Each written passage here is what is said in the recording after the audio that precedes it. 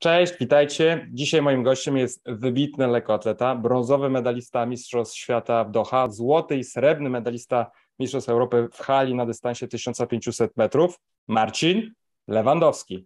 Cześć Marcin. Cześć, siemanko, witam wszystkich.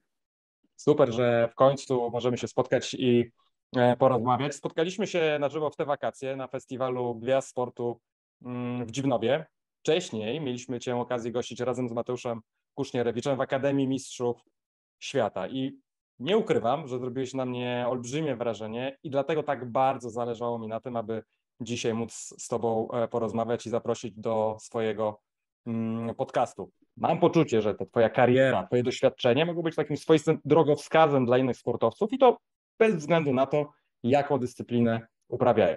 Zanim jednak przejdziemy do Twojej kariery sportowej i lekcji, jakie z niej wyniosłeś. Powiedz, jak czujesz się dzisiaj, już oficjalnie zakończywszy profesjonalną karierę zawodniczą? To dobrze się udało złapać, bo ja generalnie i to, dos- i to w moim przypadku jest dosłownie przenośni, całe życie w biegu, naprawdę. Ja mimo to, że skończyłem swoją zawodową karierę jako biegacz średniodystansowy, to biegam dalej to, i to bardzo intensywnie. Ja się śmieję, że nawet czasami dużo, dużo więcej biegam niż jako właśnie wyczynowiec, ale teraz biegam ze spotkania na spotkanie z miasta do, do miasta, a, a nie po lesie. Tak to wygląda niestety, niestety, niestety. No ja oczywiście to była świadoma decyzja, jest na to gotowy i nawet wręcz powiem, że czekam na to z ekscytacją właśnie, zacznie się tam jakiś drugi etap w moim życiu, także y, odpo- opowiadając o tym, automatycznie odpowi- odpowiedziałem Ci po części na te właśnie pytanie, jak się czuję po, y, po tej drugiej stronie, także naprawdę ja byłem, jestem y, sportowcem spełnionym, i co za tą idzie, to, że podjąłem taką decyzję, że już kończę, to, to nie jest tak, że ja właśnie siedzę, kurde, czasami na kanapie się zastanawiam, a może by wrócić, a może jeszcze by powalczyć. Nie, nie, ja jestem, mówię, spełnionym, szczęśliwym sportowcem i dzięki temu mam taką właśnie e, lekkość tej podjęcia decyzji była taka i teraz mam o tyle tą lekkość, że tak powiem, w funkcjonowaniu na co dzień, bo bo ja szukam swojej jakiejś nowej drogi. To są dla mnie, ja byłem podekscytowany właśnie, że ta kariera zaraz się skończy, bo czekają na mnie nowe wyzwania, nowe marzenia, jakieś nowe cele całkowicie, także mówię, ja byłem tym bardzo podekscytowany, a nie odwrotnie. No to, to super, bo to przyznam szczerze, że nie jest zasadą. Wielu sportowców ma problem po tym, jak kończy gdzieś karierę e, zawodniczą. Natomiast y, planowałeś to wcześniej? To były jakieś kroki, które już podejmowałeś jako sportowiec? Wiedziałeś, w którą stronę będziesz szedł?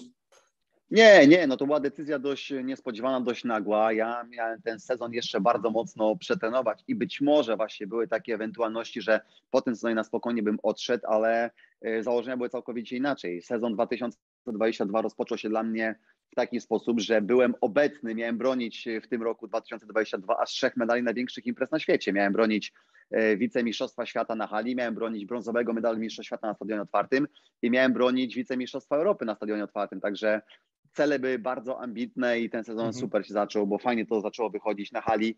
E, chociażby to, że rozpocząłem sezon halowy najlepszym wynikiem swojej historii na, na najlepsze, najszybsze otwarcie na 1500 metrów. Także fajnie to wszystko wyglądało. Później po prostu stał się nieszczęśliwy wypadek mojej córki i to tak naprawdę głównie przez to takie postanowienie było. I to dość nagła bardzo decyzja, że zakończę swoją przygodę ze sportem.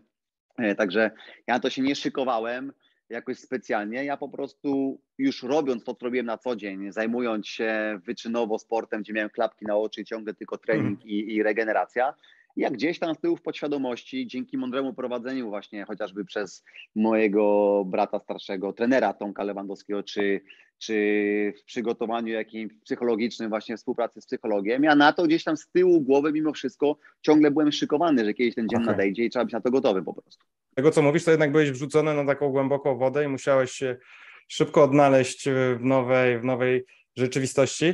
A jak powiedz, odnajdujesz się w roli obserwatora i komentatora zmagań e, lekkoatletycznych? Powiedziałeś, że nie ciągnie cię już na bieżnie, ale nie poczułbyś chętnie tego smaku rywalizacji jeszcze raz?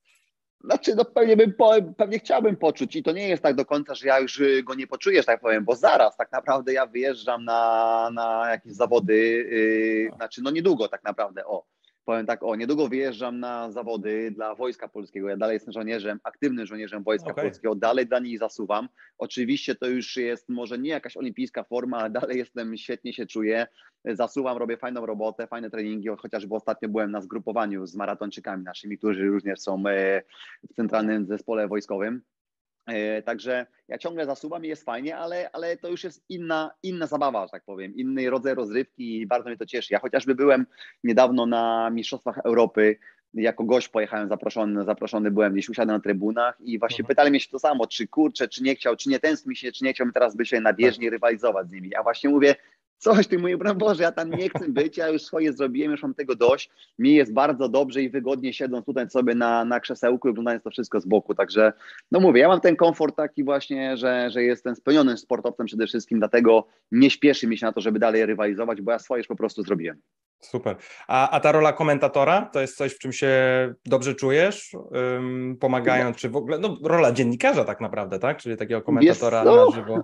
No, fajna bardzo sprawa. Bardzo, znaczy, y, powiem tak, o, żeby sprecyzować to, ja jestem właśnie ekspertem tak naprawdę w telewizji. To okay. jest mimo wszystko jednak troszeczkę inaczej niż komentowanie. Komentowania też spróbowałem, mhm. e, posmakowałem tego, polizałem, że tak powiem, ale, ale to już właśnie do końca je, jest to, co bym chciał, co mi się podoba. Ja jako w roli eksperta e, daję tam swoją opinię, coś na czym znam się bardzo dobrze, no bo spędziłem na bieżni tak naprawdę około 20 lat, także mhm. znam się na tym bardzo dobrze i, i fajnie, że mogę wyrazić na ten temat swoje, swoją opinię, swoje zdanie i ewentualnie dostrzec kogoś błędy, czy, czy ewentualnie jakąś iskierkę, która może dać mu nadzieję na zwycięstwo. Cieszy mnie to bardzo i w tej roli spełniam się naprawdę y, bardzo mocno i, i miejmy nadzieję, że ta współpraca jakoś będzie y, kontynuowana jakoś y, dalej, ciągle na bieżąco choć wiadomo, no nie ma to się oszukiwać, lekka atletyka to jest jakiś bardzo, bardzo krótki okres, ciąg roku jest na to, tak? To nie jest piłka tak, nożna, tak. gdzie są systematycznie co tydzień rozgrywane miesiącami gry jakieś i ta praca może być stała, że tak powiem. To jest y, lekka atletyka to jest święto tak naprawdę. Odbywa się tylko parę razy w roku i cieszę się chociaż, że w ten sposób mogę tam z nimi być, na co dzień uczestniczyć i od tej właśnie drugiej strony całkowicie eksperta. Tak. A Marcin, powiedz taką rzecz, bo jesteś aktywny w social mediach, robisz te social media bardzo mm, na wysokim poziomie. Robisz je sam, czy masz kogoś do pomocy? Wiesz co, no tutaj właśnie bym polenizował, czy jest na bardzo wysokim poziomie. Y, robię to stety, niestety sam i, i, i po prostu to, co ja tam robię, to to jest y, może dlatego większości może ludziom się podobać właśnie, znaczy wiadomo, zawsze będzie podzielona, zawsze pełna połowa będzie lubiła, połowa nie, ale generalnie z tego, co tam dostaję komentarze, piszą mi prywatne wiadomości, czy nawet potem spotykam się z kibicami, to lubią mnie właśnie za to, że jestem naturalny w tym prowadzeniu tych mediów. Ja tam nie wrzucam jakichś śmiesznych postów, że właśnie, nie wiem, jakiś głupkowaty kawałów, żeby kręcić, czy tak. przebierać się w 14 garniturów dziennie i żeby to wrzucić. Nie, no ja po prostu robię swoje, ja tam jestem prawdziwym sobą po prostu na, ty, na, ty, na tym Instagramie I, i, i tak to wygląda. No, ja wychodzę po prostu, może trochę staroświecki jestem, ale ja jestem taką konserwą, że tak powiem, jeśli o to chodzi. Ja jestem bardzo prosto myślę i a w szczególności y, poprzez to, co robiłem całe życie, czyli sport indywidualny, lekka atletyka, to mhm. jest sport bardzo wymierny, nie? Tam tak. nie ma sędziów, którzy zapunktują, dają lepsze noty, gorsze czy, czy coś. To po prostu ja staję na stadionie na kresce z wszystkimi zawodnikami, albo wygrywam, albo jestem ostatni, albo biegnę 1,43, 1,48. Sport bardzo wymierny i, i jako sportowiec dla mnie właśnie to powinno mnie wyróżniać i charakteryzować przede wszystkim moje sukcesy, moje wyniki w sporcie. I bo po to jest przecież mój fanpage na, na Instagramie, tak? I bo to jest fanpage sportowca Marcina Lewandowskiego. I dla mnie to jest bardzo wymierne i tak to powinno działać. Wiadomo, że rzeczywistość jest inna i ludzi nie do końca obchodzi, jakie mam wyniki, tylko, tylko ile mam followersów na Instagramie, albo jak, jak śmieszny on jest. No smutne, i, ale z drugiej strony prawdziwe, tak to wygląda. I ja jakoś bardzo się w to nie zagłębiałem, nie czytałem, nie analizowałem, nie uczyłem się prowadzenia Instagrama. Po prostu to, co podpowiada mi instynkt, y, nos, rzucam sobie to, na co mam ochotę. To, co, o czym myślę, że moi fani, moi ludzie, którzy mnie śledzą, chcieliby zobaczyć, dowiedzieć się jakichś ciekawostek na mój temat i, i tak to po prostu wygląda. No mówię, jakoś robię to samo, samoczynnie, po prostu dzieje się. Super, no to ta, ta naturalność prawdopodobnie jest tym, co właśnie przyciąga wielu kibiców do ciebie, że to nie są takie wymuskane zdjęcia gdzieś tam w specjalnych e, plenerach dobranych pod to jedno konkretne zdjęcie, tylko że robisz to właśnie naturalnie i, i, i to... A, no ja tam, wiesz, czasami mam, nie wiem, y, śpiocha gdzieś y, pod okiem, że tak powiem, czy nie jestem, nie wiem, czy, czy mam za, niezaczesaną fryzurę, coś w głowie, no po prostu, no tak rzucam, tak robię, ja tam nikomu nie muszę się podobać, po prostu robię to, co, to, co lubię, tak jak robię, jeśli komuś to się podoba, to ekstra, jeśli nie, no to przecież nie musi mnie, mnie, mnie śledzić, nie ma problemu. Pewnie. A robiłeś, prawda, social media już jakby w trakcie ostatnich lat swojej kariery. Jak miałeś oddzielić jakby to, mm, jak często, kiedy używasz, nie wiem, właśnie Instagrama, a kiedy jest ten czas, kiedy to wszystko odchodzi gdzieś tam, musi odejść na dalszy plan, żebyś ty mógł się przygotować do swojego startu? Jest to, znaczy generalnie ja dużo bardziej aktywny byłem na mediach społecznościowych w momencie, kiedy byłem na zgrupowaniach, nie? no bo, bo, no tak. bo tam miałem dużo więcej czasu, wiadomo. Dla mnie przede wszystkim na zgrupowaniu yy, liczyło się to, że muszę zrobić dobry trening, po treningu muszę odpocząć i dobrze zjeść. To było dla mnie najważniejsze, także Resztę czasu spędzałem często w, podczas obozów w łóżku, czy na kanapie, czy po prostu no, relaksując gdzieś tam, odpoczywając, łap, łapiąc e, energię po prostu. Mhm. Także wtedy miałem ten czas na to, żeby wziąć telefon, zrobić zdjęcie, nakręcić jakiś film fajny, a przede wszystkim to jest też no, dla kibiców dość chyba ciekawe, no bo chcieliby tak, zobaczyć, oczywiście. jak spędzam czas właśnie na obozie, co tam się dzieje, jak to wygląda, kiedy trenujemy, a co robimy w czasie wolnym.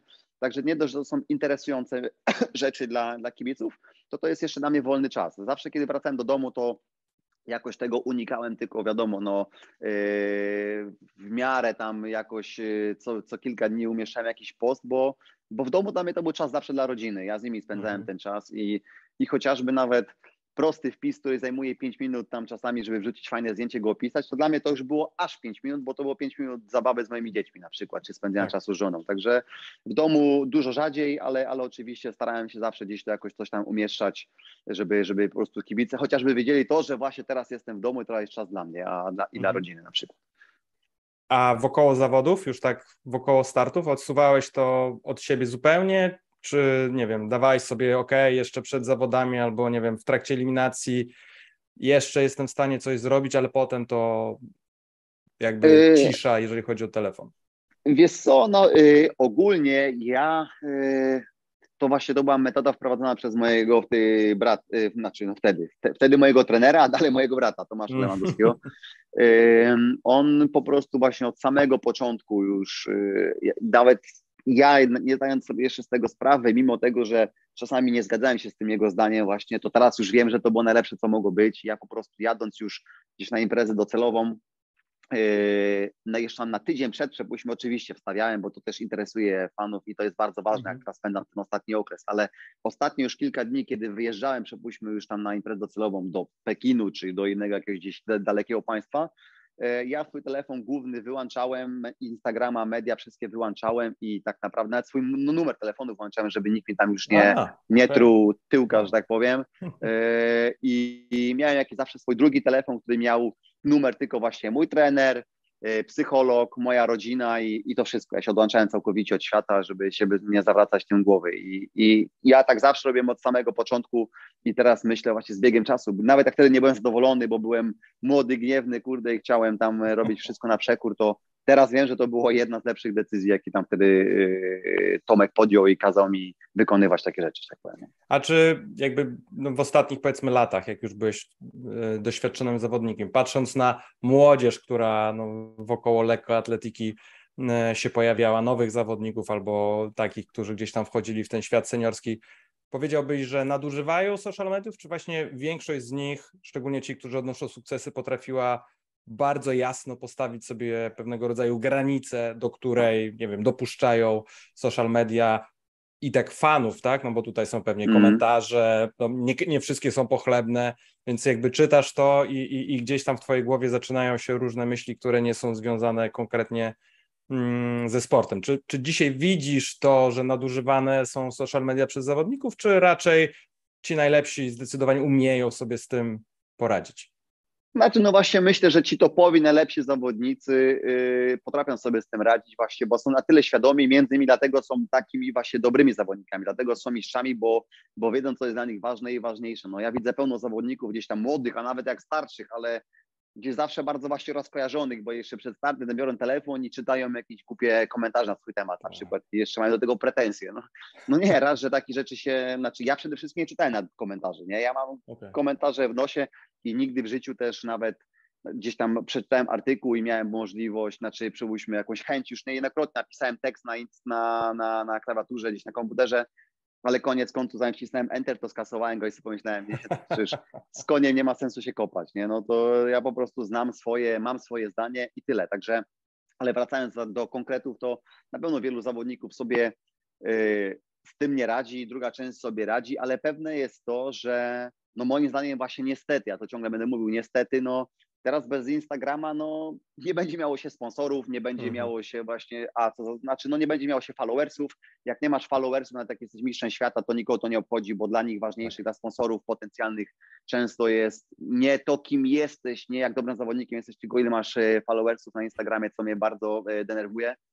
E, I, i, I co za tym idzie, no to nie ma właśnie sponsorów, nie ma pieniędzy, a, a wiadomo, że o to też wszystkim chodzi, jak po to ciężko zasuwamy, chociażby, żeby zarabiać też pieniądze. Także niestety tak teraz wygląda nasza teraźniejszość, że bez mhm. Instagrama nie istniejemy i, i z jednej strony właśnie trzeba za tym iść z duchem czasu, tak. bo tak to teraz wygląda i, i rozumieć tych zawodników, z drugiej strony no też trzeba zadać sobie pytanie, co dla nas jest właśnie najważniejsze. Nie? Znam też takich zawodników, co komplety do tej pory podstawowe tego jakieś prowadzenie Instagrama mają, bo ich interesuje co innego. Oni chcą być mistrzami, a nie mistrzami na bieżni, że tak powiem, czy gdzieś tam na arenach sportowych, a nie mistrzami tam e, robienia z siebie głupka czasami na Instagramie. Także e, no to jest kwestia naszych wyborów już. E, każdy robi swoje i, i tyle. I każda decyzja być może jest dobra. No ja, ja po prostu patrzyłem się przede wszystkim zawsze na siebie, to było dla mnie najważniejsze. Tak, zgadzam się.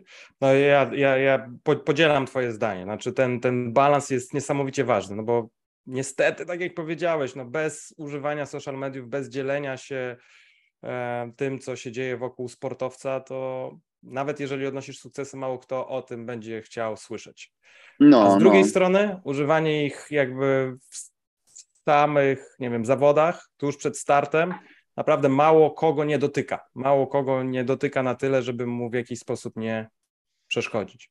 No tak. Znaczy powiem, powiem Ci jeszcze inaczej, na ten tak. temat sądzę. W sensie, no nie to mhm. sądzę, ale powiem Ci taki jakiś, nie wiem, yy, takie jakieś moje, nie to, że przemyślenia, ale po prostu chcę powiedzieć to, że jak gdybym miał na tyle dużo pieniędzy miałbym jakieś tam, nie wiem, popychane hamskie miliony na koncie, to, to nie miałby na pewno Instagrama, ja bym wtedy to w nosie, bo wtedy od nikogo by nie był zależny, nie musiałbym tego mieć i bym sobie żył swoim życiem po prostu. No. Tak, do tego czyli, podchodzę. Czyli Instagram jako narzędzie no, do, do budowania kariery, czyli takiego zaplecza finansowego dla swojej kariery, tak? No tak, no dokładnie, dokładnie. No i potem nawet już po zakończeniu kariery, tak? Ja dalej, no i zakończyłem karierę, ale, ale ja dalej chcę w jakiś sposób gdzieś zaistnieć, dalej chcę zarabiać i muszę przede wszystkim zarabiać pieniądze, żeby, żeby dobrze sobie żyć, żeby dobrze funkcjonować, czy żeby z rodziną na czasy wyjechać. Mhm. Dlatego dalej go muszę mieć, bo to gdzieś mi dzięki temu pozwala właśnie, nie wiem, y, no po prostu zarobić jakoś, pokazać się kogoś, no nie wiem, różne są sytuacje, po prostu tak. muszę to mieć. No gdybym był od tego niezależny finansowo, że tak powiem, to na pewno bym Instagrama nie miał. A, to ciekawe. Dobra, przejdźmy kawałek dalej. Chcę wrócić do naszej rozmowy w Akademii, bo pamiętam, jak w Akademii opowiadałeś o tym, jak e, skutecznie byłeś w stanie unikać kontuzji przez no niemal całą swoją karierę.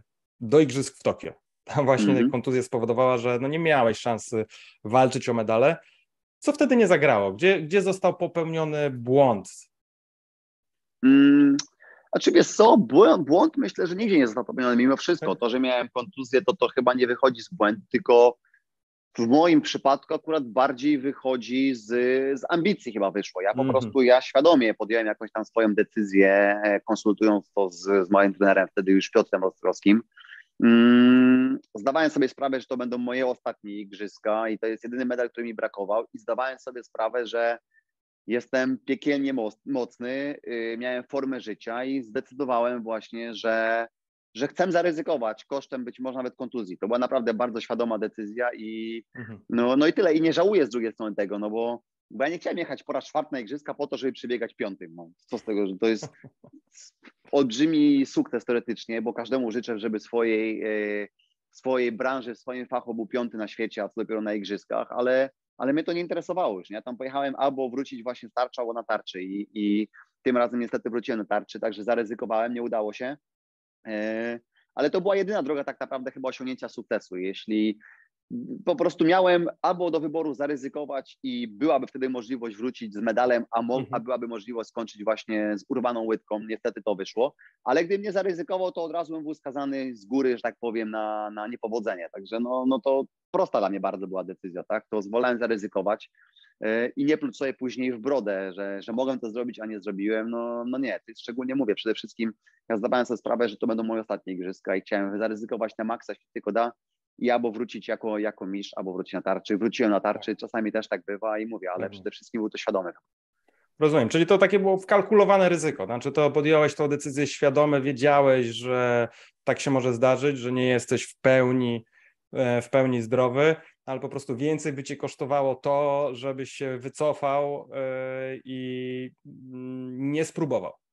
Znaczy, no, znaczy wiesz co, ja jechałem generalnie no, w, generalnie no, zdrowy niby teoretycznie, no, coś tam y, czułem, ale to jak, jak to się mówi w świecie sportu, jak, jak nie czujesz bólu, to znaczy, że nie żyjesz, nie, no to, to trzeba to ciągle czuć coś tam, ale, ale generalnie nie, ja jechałem tam zdrowy generalnie, jako zdrowy zawodnik, jako zdrowy człowiek i tak to po prostu wyszło, ale no mówię, no zaryzykowałem, bo tak naprawdę nawet to nie chodziło też tylko o medal, że tak powiem w mhm. cudzysłowie, bo ja tam po prostu chciałem być zniszczyć ich wszystkich i wiem, że byłem na to gotowy. No byłem piekielnie mocny i to my i właśnie taki był cel tego. Jeśli, jeśli nie, no to, to wolałem, mówię, jak miałem nie zdobyć tego medalu, nawet i złotego, ale niech będzie nawet, nawet brąz, okej, okay, niech, niech będzie nawet tylko brąz, yy, się śmieję oczywiście, no to, to wolałem po prostu wrócić właśnie w takim, w takim stanie, jakim wróciłem, niż przebiegając, mówię, przekraczając inne mety na piątej pozycji i znowu, kurczę, czego żałować, a nawet jak nie żałować, bo dałem siebie wszystko, no to mieć takie pretensje ogólnie, że ja pierdzielę 16 lat biegam, 16 lat ocieram się o ten medal i znowu go nie zdobyłem, nie? Także,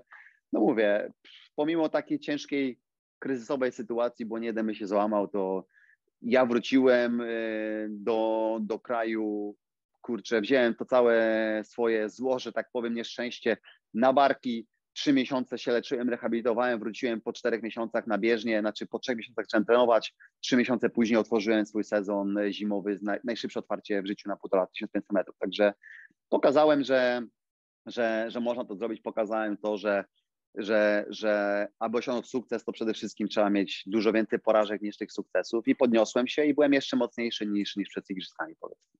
A, to ładnie powiedziałeś, że trzeba mieć więcej porażek niż sukcesów. No to w życiu sportowca to jest po prostu wpisane niestety te, te porażki. No dobra, tak Marcin, to pomówmy za tym, jak Ci się udało przez te wszystkie lata naprawdę unikać poważnych kontuzji. Jakie były, nie wiem, kluczowe czynniki, które o tym zadecydowały, tak teraz, dzisiaj, z perspektywy czasu? Znaczy, no przede wszystkim y, bardzo mądry i dobrze dobrany indywidualnie trening. Y, to jest podstawa, czyli mądry trening y, i podejście do wszystkiego. I to jest podstawa, a dookoła tego jest wiele innych różnych drobniejszych rzeczy, takich jak właśnie, nie wiem, dbanie o siebie poprzez odpowiednią dietę, odpowiednie suplementacje, poprzez ciągłe jakieś tam, nie wiem, masaże, y, korzystanie z sauny, korzystanie generalnie z odnowy biologicznej, mhm. korzystanie z pomocy właśnie psychologa, fizjoterapeuty, także jest tego szereg multum rzeczy, których, których y, każdy z nich jest bardzo ważne i ja nawet do tego stopnia dla mnie to było ważne, że po każdym sezonie przez 15 lat, rok w rok powtarzałem tą samą czynność po zakończeniu zawsze każdego sezonu. Mimo, że czułem się świetnie, że czułem się zdrowy i byłem zdrowy, to e, pierwsze co robiłem po zakończonym sezonie to mm, miałem dwu, trzy tygodniowy obóz jeszcze odnowy biologicznej właśnie najpierw 10 dni zabiegi ciepłe, potem 10 dni zabiegi zimne. Mimo, że nic mi nie dolegało, to korzystałem z szeregu całego jakichś różnych e, rodzajów właśnie zabiegów, nie? Okłady z borowin, kąpiele solankowe, jakieś y, y, chociażby oddychanie też jakimś tam czystym tlenem, tak, y, masaże, korzystanie z wszelkiego rodzaju właśnie jakichś tam, nie wiem, maszyn takich jak chociażby pole magnetyczne, gdzie kompletnie nic nie miałem, a jednak się kładłem i na podstawowe jakieś tam partie swojego ciała z tego korzystałem. Także mówię, szereg różnych rzeczy i to wszystko wszystko tak naprawdę się liczyło, wszystko było ważne. To nie jest tak, że mogłem sobie jedno wybrać i też by było dobrze, bo no. całe, ta cała otoczka właśnie buduje ten, e, ten sukces, że tak powiem, w postaci no, zdrowia tak naprawdę, bo teraz o tym rozmawiamy. To powiedz, bo powiedziałeś przede wszystkim mądry trening, tak? I mhm. tutaj mm. e, trochę znam, znam Twoją historię, więc, więc e, jeden na przykład taki fragment, który bardzo dobrze pamiętam e, z którejś z naszych rozmów, to był o tym, że twój brat, bo twój brat był twoim trenerem przez praktycznie całą, niemal całą tak twoją karierę, mm, wręcz powstrzymywał cię, żebyś e, trenował to, co jest założone, tak? I przez to mhm. na przykład musiałeś trenować z dziewczynami, a nie mhm. trenowałeś e, z seniorami, tak? Opowiadałeś taką. No tak, tak. To było na samym początku jakieś tam przygody mojej właśnie ze mhm. sportem i no generalnie chodzi po prostu o to, że raz, że kartka papieru wszystko przyjmie i jakąś założenia tam napiszemy i trening, to, to kartka papieru wszystko przyjmie, a organizm y, z kolei nie, a nawet jakby przyjął, pewnie wtedy by przyjął za czasów juniora, no bo wtedy jesteśmy nie do zabicia, że tak powiem, jako junior. Szybko się regenerujemy, wytrzymamy wszystko, ale to by wyszło właśnie y, w kolejnych tam latach, dlatego Tomek po prostu nigdy nie przeskakiwał e, jakiegoś tam poziomu. Mimo, że by się chciało, no to, to nie przeskakiwał tego, żeby spokojnie, krok po kroku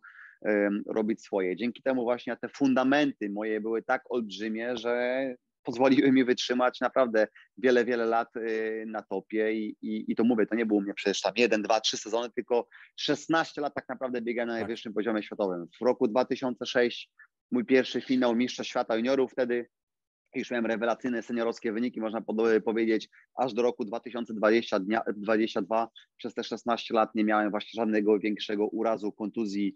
E, nie miałem ani jednego wyłączonego sezonu. W każdym z tych sezonów biegałem przynajmniej 1,44 na 800, także e, czasami częściej to się bywało, czasami rzadziej, ale nie było sezonu powyżej 1,44, tam gorsze wyniki, żebym miał. Także e, przez 16 lat na najwyższym poziomie światowym, no mówię, fundamenty miałem po prostu tak olbrzymie, że i mało tego, nie dość, że to było 16 lat, to ja mhm. zaczynałem sezon w maju, biegałem 1,44, kończyłem 15 września, dalej biegałem 1,44 albo życiówki nawet na tym dystansie. Także przez maj, czerwiec, lipiec, sierpień i połowa września, 4,5 miesiąca, y, topowa forma i, i, i, i, nic nie było mi w stanie też wtedy zabić. Ale to przede wszystkim właśnie przez to, że miałem te olbrzymie Podstawy. fundamenty takie, co mhm. dokładnie, no o.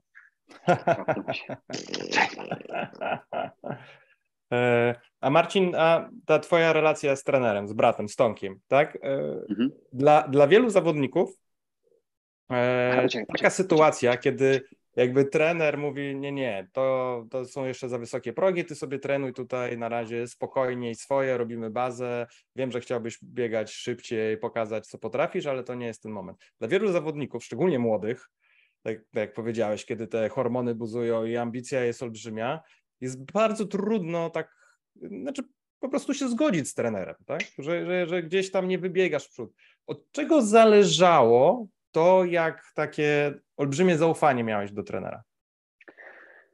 Znaczy, no, ja miałem olbrzymie zaufanie do trenera, przede wszystkim to był mój brat, ale, ale no wiadomo, że to mi się bardzo często nie podobało i często tam jakieś właśnie buntowałem się przeciwko temu, ale, ale z drugiej strony, wiesz co, ja nigdy nie analizowałem właśnie treningu i to, co się dzieje, tylko ja po prostu trenowałem i to dla mnie było najważniejsze. I, ale ja to zawsze generalnie podkreślam właśnie, że nie wyobrażam sobie współpracy z trenerem, do którego nie mam szacunku, tak? No, okay. Ja znam wiele jakichś dziwnych właśnie relacji, co zawodnicy trenują, a po prostu nienawidzą się jak kurde, jak pies z kotem na przykład, nie? I to, to mhm. jest dla mnie z góry skazane, nawet jeśli będzie jakiś sukces, no to prędzej czy później, ale raczej prędzej to, to, to po prostu nie pójdzie, nie przejdzie dalej. Także yy, mówię, do trenera przede wszystkim trzeba mieć respekt, trzeba mieć szacunek i, i bezgranicznie mu ufać. No, jak, jeśli nie ufamy trenerowi, jeśli zaczynamy filozofować, myśleć, myśleć sobie, układać inny trening albo, albo, albo podważać jego decyzję, no to, no to po co mi trener w takim razie, tak? Lepiej samemu się trenować. Także yy, no ja przynajmniej takiego zdania zawsze byłem, z tego wychodzę i dalej to podtrzymuję. No, trzeba bezgranicznie ufać swojemu trenerowi, i u mnie zawsze tak było. Jeśli Tomek mówił, że 2 plus 2 to jest 5, to ja się z tym nie kłóciłem, po prostu przyjmowałem do info, tą informację do, do siebie i wykonywałem jego polecenia. A, super. No, żeby tak młodzież, że tak powiem, była taka mm, pokorna w takim dobrym tego słowa znaczeniu, tak? To jest ten no element. No ja taki... od samego początku to miałem, od samego mhm. początku i nawet mówię, nawet jak często mi się coś nie podobało, to no to przytakałem, przytaknęłem yy, i tyle, po prostu wykonywałem jego rozkazy. Teraz widzisz, dalej jestem żołnierzem Wojska Polskiego, wykonuję rozkazy i to mi najlepiej wychodzi. Czyli jednak sportowiec, żeby osiągnąć naprawdę wybitne rezultaty, no musi mieć tą pokorę w sobie, właśnie chociażby po to, żeby zaufać procesowi, zaufać trenerowi i nie robić rzeczy na własną rękę, albo nie próbować zmuszać trenera, bo też są takie przypadki, że zawodnicy zmuszają trenera do czegoś więcej, bo właśnie wydaje im się, że są w stanie mm, zrobić. No tak, nie, no wiesz co, ja generalnie nawet już później jako stary koń, jako doświadczony tak. zawodnik, tak. raz, że mu bardzo ufałem, ale wiesz, taka niepewność zawsze była. Ja przypuśćmy, my ten sam y, cykl, inny może, ale w sensie podobne jakieś y, właśnie cykl treningowy przeprawialiśmy co roku i ja zawsze w maju miałem gdzieś pierwsze starty, przepuśćmy, i, i czegoś mi brakowało zawsze, nie czułem się na w pełni gotowy, startowaliśmy i ja zawsze tu powtarzam to samo, że kurde Tomek, nie czuję jeszcze tego, a nie może, powinniśmy jednak zrobić to, a tamto.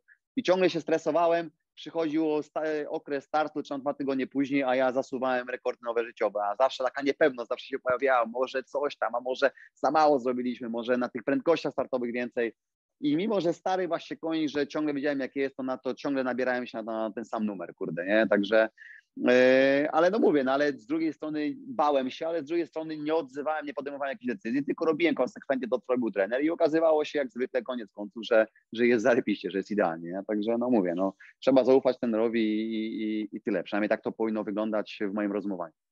Pewnie. Marcin, powiedz, ile lat wyczynowo trenowałeś bieganie? Czy wiesz co, wyczynowo ja właśnie mówię, że 16 od tego 2006 16. roku, e, a wcześniej to miałem jakąś tam e, przygodę ze sportem. To była przygoda, a nie wyczynowe trenowanie. Także ja zacząłem trenować w roku 2001 sobie okay, bawić sobie coś tam, no bawić się, ale, ale mówię, ja swoją karierę liczę tak naprawdę od 2006, a nawet czasami mówię 9 roku, bo to już była prawdziwa taka seniorowska, bardzo mocna impreza. Mimo, że rok, tem, rok wcześniej, czyli 2008 biegałem już na Igrzyskach Olimpijskich, to jeszcze nie do końca to było na tyle poważne, jak się później zaczęło, zaczęło kiedy szedłem do tego świata już tych seniorowskich wyników top-top. Mhm. Powiedz, czyli przez te 16 lat nie wierzę, że nie miałeś dni, okresów, kiedy po prostu, nie wiem, tobie się nie chciało, zwyczajnie ci się nie chciało, gdzieś ta motywacja spadała. Mm, znaczy... Jak sobie w takich momentach radziłeś, tak żeby jednak zebrać się w sobie, nie wiem, pójść na trening, mimo że naprawdę ci się nie chciało. Nawet nie mówię, że ci ciało odmawiało posłuszeństwa, tak, że było wykończone, bo akurat wtedy pewnie jest dobrze odpuścić. Ale są takie po prostu dni, że wstajesz, nie wiem, lewą nogą i zwyczajnie ci się nie chce. Aha, o taki, jak mówisz, dobra, tak. bo na początku już myślałem, że właśnie odechciało mi się w ogóle już tam trenować. Nie, ja takiego okresu w swoim życiu nie miałem. Nie, nie, może, nie, nie. Może delikatnie w 2000, tak, tak, może tam delikatnie w 2013 roku, kiedy trzeci raz, kurczę, kończyłem na czwartym miejscu Mistrzostwa Świata, nie? Także wtedy miałem troszeczkę taki yy, właśnie szczała, że może, kurde, spakować torbę i, i, i robić co innego, ale to był szybki, taki króciutki okres, Y, tydzień później poleciałem y, swój rekord życiowy na 800 metrów, czyli zobacz, jak bardzo mi się nie chciało, że tydzień później poleciałem jeden y, rekord życiowy. Takich pojedynczych dni, no to wiadomo, zdarzało się i to, i, i to dość często. Szczególnie kiedy byłem gdzieś sam między obozami w domu, właśnie, nie wiem, mhm. wracałem, nie dość, że zajechany, że nie miałem czasu spędzić dnia, nie wiem, z rodziną, padał deszcz na dworze, szaro buro, to jest normalne, że mi się nie chciało i, tak. i, i każdy nas, myślę, ma takie momenty, ale, ale no, nie wiem, jak to robiłem, po prostu no, od niechcenia, kurczę, zaciskałem te zęby, przebierałem, ubierałem dres, y, zabierałem y, ortalion, kurde, bo padało.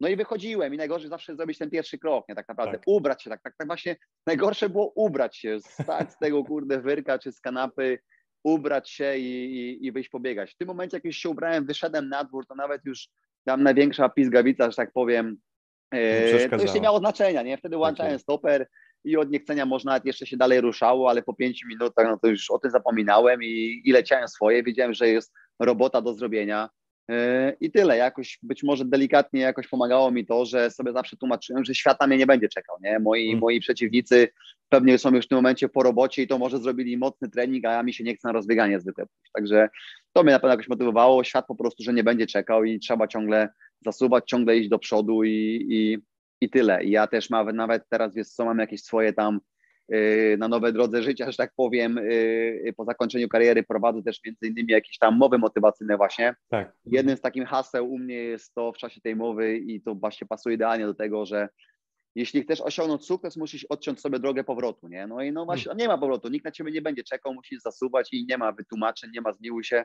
Każdego dnia trzeba konsekwentnie robić swoje i, i tyle. Super. No powiem Ci, że to motywowanie się wrogiem, to z kim nie rozmawiam, jest chyba takim głównym motywatorem. Ja, ja miałem to dokładnie to samo, że po prostu Aha mi się nie chce iść na siłownię, a moi koledzy to pewnie są na zgrupowaniu gdzieś na Gran Canaria i przed chwilą byli na siłowni, a teraz schodzą na wodę, tak? A ja no, nie mogę no, zrobić no. jednego treningu, kiedy oni zrobili dwa albo trzy. I to był ten moment, kiedy ja brałem torbę i puch, no, no. na trening. No często się zdarzało, także no dobrze, dobrze, dobrze, no tak powinno być. No o to chyba w tym wszystkim chodzi. Tak.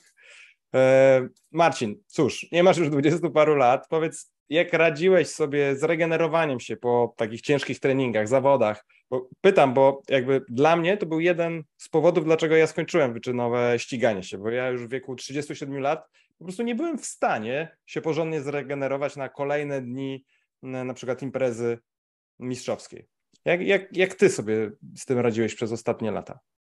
Nie, wiesz co, ja radziłem sobie bardzo dobrze i, i, może nie wyglądam, ale, ale, ale, ale przynajmniej się czuję, ja naprawdę się czuję, jak się spotykam nawet czasami gdzie z moimi dużo młodszymi kolegami w wieku, nawet tam czasami 23 lata, to ja w ogóle nie czuję się, że odstaję od nich jakoś, jeśli chodzi o właśnie, e, o, o mentalność przynajmniej, bo ja się z nimi Nie, mentalność, bawić. mentalność to ja się z tobą zgodzę, tylko dla mnie największym problemem było to, że ja wiesz, wstawałem po kolejnym dniu i po prostu no, no. o tym, że wszystko mnie bolało, ale czułem, że nie było dość czasu na zregenerowanie się, a młodzież się regeneruje szybciej, no po prostu. No tak. Nie, wiesz co, ja wtedy to też chodziło między innymi właśnie o ten mądrzejszy trening w moim przypadku, w sensie, że okay. ja też oczywiście czułem właśnie, że się wolniej regeneruje, że to, że to już nie jest to tak jak kiedyś yy, i dlatego decyzja też była taka właśnie, yy, z Tomkiem właśnie to konsultowałem parę razy, gdzieś mówiłem takie jakieś moje yy, odczucia, nawet nie przemyślenia, bo właśnie ja nie byłem filozofem, ja, on był od tego odmyślenia, ale mówiłem mu swoje odczucia po treningach, tak? no to wiadomo, trzeba, trzeba o takich rzeczach gadać, żeby on wiedział, jak, jak się czuje, co można zrobić, co nie. I, I, moja sugestia była taka, i Tomek to bardzo szybko wprowadził właśnie. Powiedziałem mu, żeby nie zapominał, że mam przybyć 33 lata, bo razem ty zasuwaliśmy, zdobywałem medale Mistrza Świata i że ja chcę robić te mocne treningi i bardzo chcę je robić, bo wiem, że jest podstawa i, i, ja w ogóle przede wszystkim chciałem tego, chciałem zasuwać, ja nie chciałem zwalniać tempa, ja chciałem nawet może jeszcze bardziej zasuwać wtedy, ale mądrzej chodzi o to w sensie, że te jednostki docelowe, konkretne właśnie, szykujące mój szlif taki do, do formy jakiejś, to mhm. wykonywałem może nawet jeszcze mocniej niż za czasów yy, da, yy, wcześniejszych, kiedy byłem młodszy, regenerowałem, ale ta cała otoczka była spokojniejsza zdecydowanie, nie? Czyli okay, ja kiedyś czuliśmy pomiędzy akcentami potrafiłem też walić jakieś drobniejsze, mniejsze akcenty yy, i to było wszystko ok, a w związku z tym, że się wolniej regenerowałem, to ja dalej podtrzymywałem w tygodniu trzy razy bardzo mocny trening, ale właśnie te wszystkie dni pomiędzy to był spokojnie, tylko żeby, żeby tylko wyjść, żeby przepukać, żeby serce popompowało, żeby wyrzucić z siebie ten kwas z dnia poprzedniego właśnie, żeby szybciej się zregenerować i następnego dnia znowu ogień. Nie? I ja taką metodę obraliśmy i to się świetnie, sprawo- to się świetnie sprawowało właśnie w moim wykonaniu, nie? czyli te główne akcenty dalej bardzo mocne, nawet jeszcze może mocniejsze, ale mhm. wszystka ta otoczka dookoła były dużo, dużo bardziej spokojniejsze, nie? Rozumiem. No, no to, to bardzo, bardzo ważne, co powiedzieć. A no. e, monitorowaliście w jakiś sposób, nie wiem, poziom zmęczenia, zakwaszenia organizmu? Tak, no te podstawowe wszystkie rzeczy, nie? Znaczy ja już ostatnich parę lat nie korzystałem w ogóle z tętna na przykład. Ja nie używałem tego paska do tętna czy coś, bo no. to mi nie było już potrzebne, bo ja znak znając swój organizm, że tego nie potrzebowałem już po prostu, nie? Ja, ja czasami mam wrażenie, że nie potrzebowałem zegarka w ogóle, bo jak mi trener powiedział, że mam biec po 3,20 ciągły, no to zaczynałem na, na pętli mierzonej, w sensie tylko raz na kilometr właśnie można było zmierzyć i, i było 3,19, a nie 3,20. Także ja naprawdę już y, znałem świetnie swój organizm. Y, ale tak, ale, ale, ale korzystaliśmy z takich rzeczy na bieżąco ciągle, jak kwas po treningu, tych mocnych treningach, kwas mhm, mlekowy mhm. zawsze y, badaliśmy bardzo często. No i tak naprawdę to, to wszystko, jeśli do pomiaru jakiś Aha, tam właśnie. Okay. No, kwas mlekowy tak naprawdę i, i, i, tyle. A resztę to była po prostu y, mój, y, moje, moja intuicja i mój po prostu moje doświadczenie, jakieś tam samo, samopoczucie, nie? No to wow, no to przyznam Ci się, że to robi jeszcze większe wrażenie na mnie, mm, no. bo ja na przykład od kiedy y, Aure Ringa używam, to jednak moja intuicja czasem zawodzi. Tak? Nie, no tak. ja po prostu, ja tak znając, wiadomo, czasami jakieś były pomyłki, w sensie ja się całkowicie inaczej czułem, a okazywało się, że inaczej całkowicie odbiera to organizm, od środka właśnie, mhm. ale no po prostu uwierz mi, że, że robiąc treningi, ja potrafiłem zgadnąć do różnicy dwóch dziesiątych y, pomiar kwasu, przypuśćmy. Ja mówiłem mu, wow. że będzie 3,7, a był 3,6. No takich przypadków było tak dużo, że to jest niemożliwe okay. czasami. No. No to wow, no to dobra. W porządku, no. zaraz już rozumiem. No. E, naprawdę niesamowicie poznałeś swój organizm. No ale to też pewnie niesamowicie ci pomogło w karierze. E, Marcin, na koniec takie, takie pytanie, które zadaję absolutnie każdemu, bo, bo ten temat jest dla mnie osobiście bardzo, bardzo ważny i dlatego zbieram sobie odpowiedzi od różnych osób. E, wiadomo, że. Powiedz, że to nie jest dla Twoich słuchaczy, tylko dla Ciebie po prostu. No, no i coś muszę z tego mieć. No, jeden fragment jest tylko dla, dla mnie. Ciebie. I właśnie chodzi, chodzi o fragment o śnie. Tak, no wiemy, że sen jest najważniejszym narzędziem regeneracyjnym, nawet o tym nie wspomnieliśmy, no, ale to wszyscy doskonale wiedzą. Czy ty mm, masz jakieś swoje, nie wiem, rutyny, jakieś rzeczy, które robisz, aby ten sen był wyższej jakości?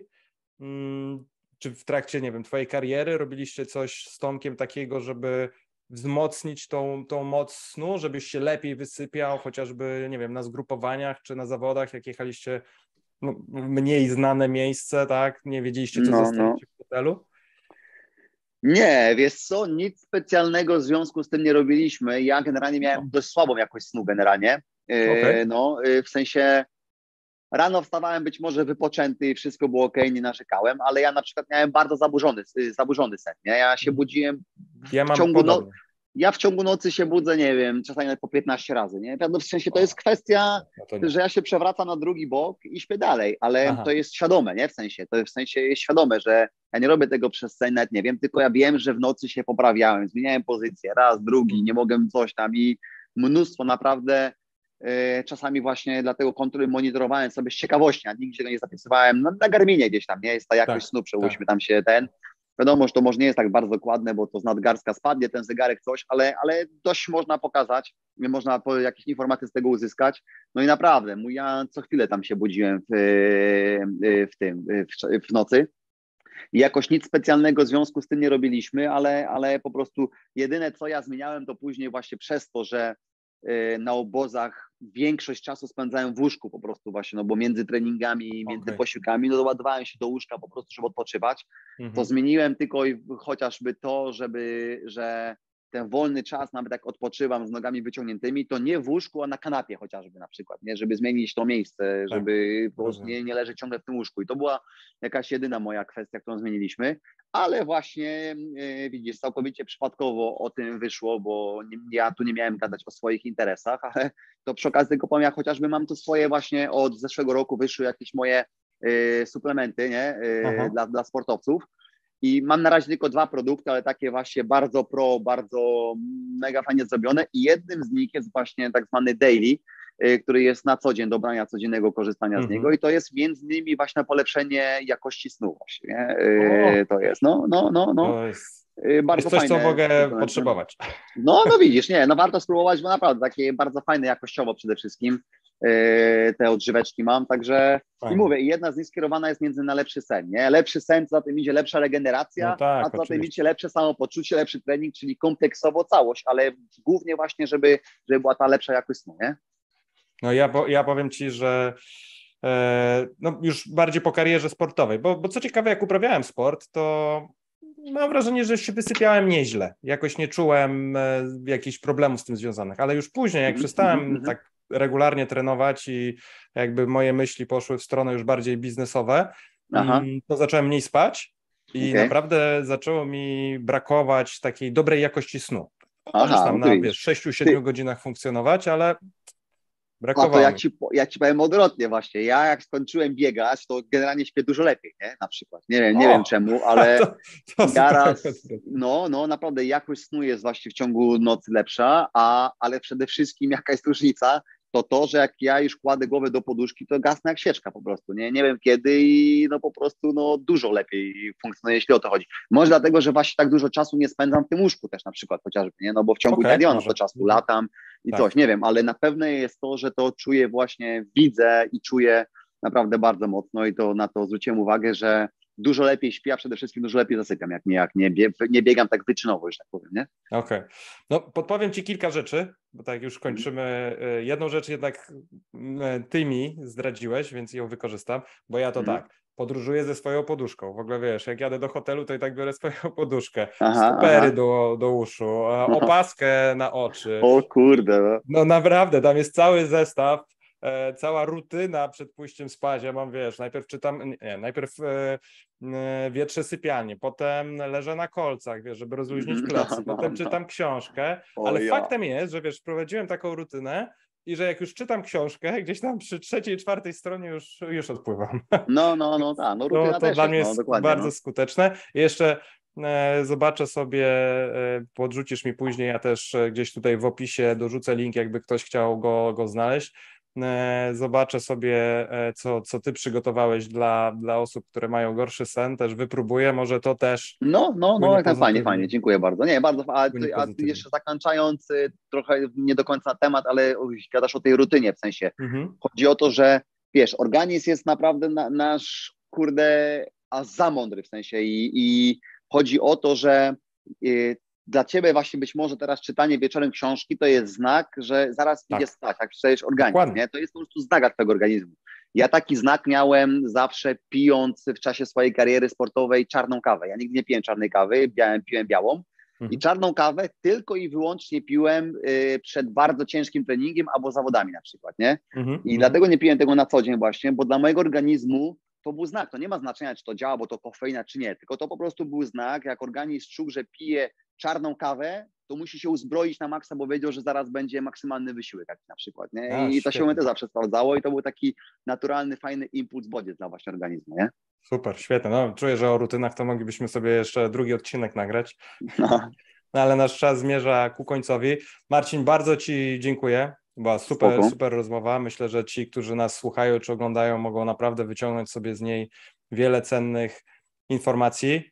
Trzymam, trzymam kciuki za, za Twoje, no mam nadzieję, jeszcze długie bieganie i startowanie, no już teraz w barwach, w barwach wojska no tak i za, za całą Twoją karierę już e, po, po sportowo.